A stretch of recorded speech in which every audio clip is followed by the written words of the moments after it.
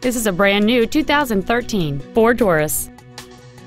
It features a 2.0-liter four-cylinder engine and a six-speed automatic transmission. Contact us today to arrange your test drive.